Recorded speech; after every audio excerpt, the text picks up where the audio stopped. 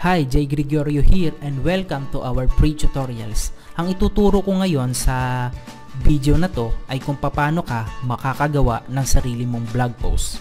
So ang unang mong gagawin ay mag-login lang sa website na ginagamit mo which is the AIM Global Project Online Marketing Tools. Uh, ito ay isang website na ginagamit ng mga AIM Global members para i-promote or i-build ang business nila online. So nandito ka ngayon sa dashboard ng website mo makikita mo dito ang new. Ang gagawin mo ay click lang tong new at post. So, gagawa tayo ng new blog post. Okay, kapag naklik mo na siya, ang unang ilalagay dito ay yung title ng blog post mo.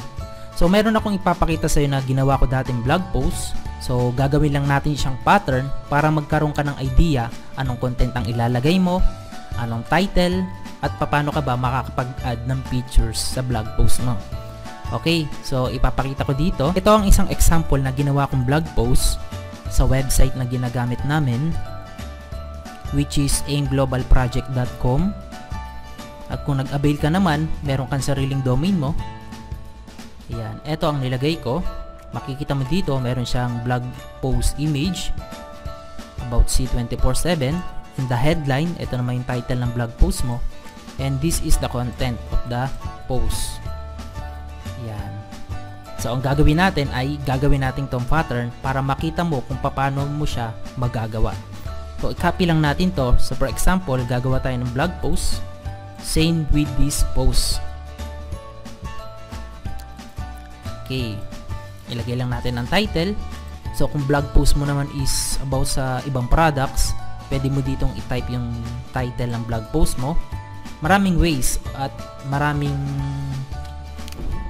ba't ibang klase ang blog post na pwede mong gawin. Pwede kang gumawa ng blog post about uh, success stories. Pwede kang gumawa ng blog post about the products or the products testimonials and company events or mga pre-tips, mga tutorials na pwede mong uh, i-post at makatulong sa mga prospects mo, sa team mo at sa mga visitors na pupunta sa website mo. Okay ba yon? So, okay. I-copy naman natin dito ang content niya. Maglagay tayo dito ng content. Ito, i-copy lang natin to. Okay, dito, i-paste natin ang content ng blog post mo. Ayan, nandyan na. Makikita mo dito, ang content niya. Nandito na rin yung picture So, kung mag-add ka ng another picture, sample ito, kung mag-add ka lang, space, click add media.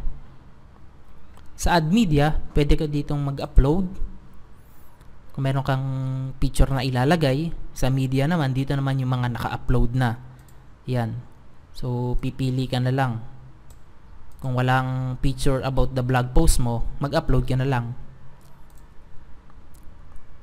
So, okay. Dito, yung content niya. Yan, nilagay ko rin dito yung reasons why take C247.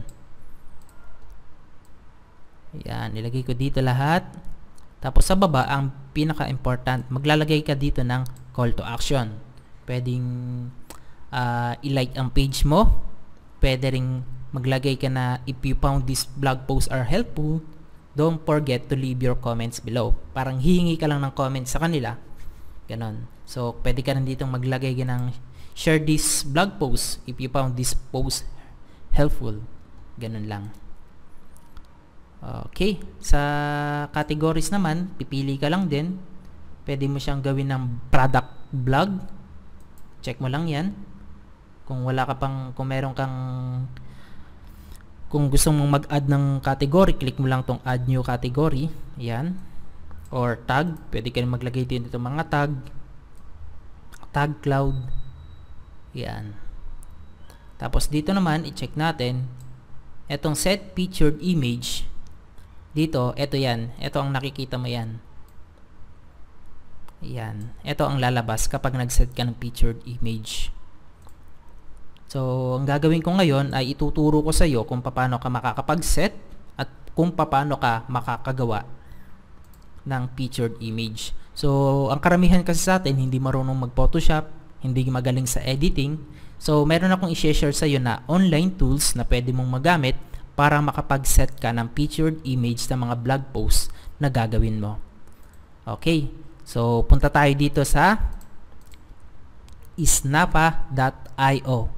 So, ang snapa.io or snapa is a uh, online tools for free na magagamit mo para makagawa ng uh, blog post image. Gagawin mo lang is mag-sign up. Ilagay mo lang ang name mo dito. Name, your email, password, then get started mo. Okay, nakalagin ka na sa Snapa. Ang gagawin natin ay mag-create ng blog post featured image mo. Dito sa width, ang width niya is 1,200. Then sa height naman is 630. Lagay mo lang yan, then click create. Di-design tayo.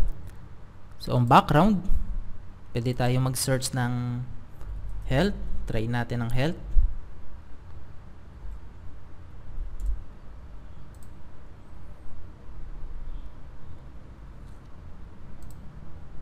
Ito, i-try natin to. Ito, okay. Then, add tayo ng text. Headline and subheading. Sa headline, pwede tayong mag-add dito ng double click mo para ma-edit mo. Lagyan natin yung title ng blog post mo. Itong C247. Copy mo lang siya, then paste. Yan. Then, highlight mo siya. Adjust the color. Yan. Kung gusto mo nang palitan ng font niya, click mo lang dito marami kang pagpipilian sample ito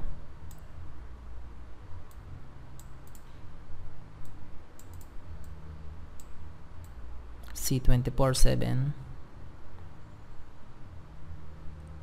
yan so kung gusto mag-add ng additional subheading pwede pa double click mo lang ang subheading text Then, ilagay din natin tong the next generation of food supplement.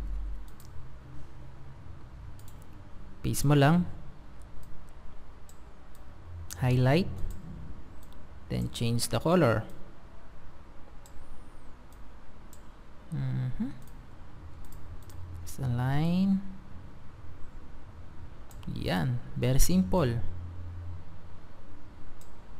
Pwede mong palitan yung text na to yung kulay kung di masyadong nakikita pwede mo siyang gawing color gawin natin dito color green yan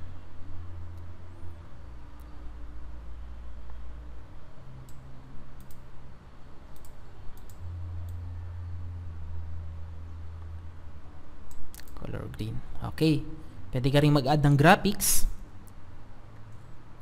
additional mga ito pili ka lang dito or mag-upload ka ng sarili mo. So dito nag-upload ako ng C247 na naka-PNG file.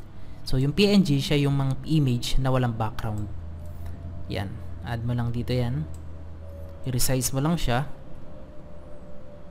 Yan. Okay. So adjust mo.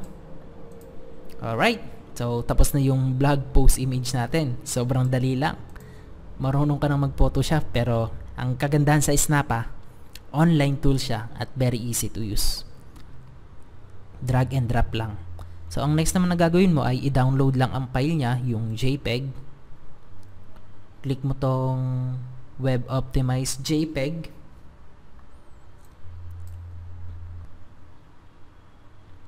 Okay, then save mo siya. Lagay ka lang ng file name niya.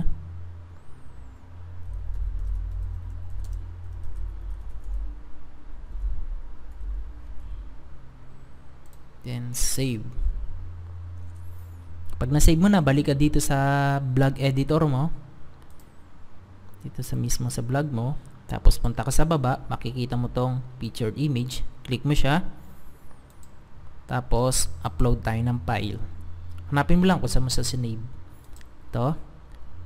Click mo open para mag-save siya. Okay, nag-save na siya. Click mo tong set featured image. Yan, makikita mo to. Yan, nakita mo na ha. Then, click mo tong publish or i-preview mo na siya. So, ang gawin natin is i-preview muna ang blog post na ginawa natin para ma-check mo. So, very easy. Meron ka ng new blog post ngayon. Yan, ito ang makikita mo.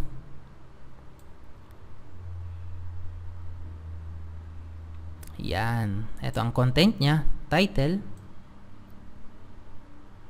Content of the blog. Yan. Yan. Tapos, sa baba, makikita mo rin dito yung call to action na nilagay mo kanina. Then, nandito na rin yung share button. I-click mo lang siya kung sa-share mo sa Facebook. Okay. So, balik ka dito sa editor. Click mo lang tong publish. Alright, na-publish mo na siya. So, click mo tong view post. Okay, ito na ang pinaka-actual blog post na ginawa mo. Kung i-edit mo naman siya, kung may idadagdag ka, madali na lang din kasi i-click mo lang tong edit post. So, ang gandahan sa blog post, sa mga blog na ginagawa mo, uh, makakapag-engage ka sa mga tao, makakapag-reach ka ng maraming prospect, yun ang kagandahan. Ang tips lang na maibibigay ko sa'yo kapag gagawa ka ng vlog, kailangan alam mo kung sino yung mga target market mo. Sino yung mga prospect mo. So, dapat alam mo rin yung mga problems nila. Sa pasamang bibigay tips ko ah, uh, sa blog post na mga gagawin mo, pwede ka dyan magbigay ng mga tips para ma-solve yung mga problems ng prospect mo. In this example, yung target market natin sa blog post na to is yung mga uh, health conscious. So, ang C24-7 na, na-discuss natin dito sa content niya, yan, ang mga health benefits niya. So, kapag nabasa tong ng mga prospect mo or mga uh, customer mo, pwede silang mag-buy ng products mo or kontakin ka nila kung paano sila makakabili ng products na ino-offer mo. Alright. So, dito sa sidebar ng blog post mo, kagandahan, nakalink yung uh, fan page mo sa Facebook. Nandito na rin yung mga product. Alright, then connected din siya sa fan page mo. Okay, that's it. And I hope uh, marami kang natutunan sa blog post tutorial na ito. So kung may other question ka, simply leave your comment below inside this video. Okay, thank you for watching and see you in the next video.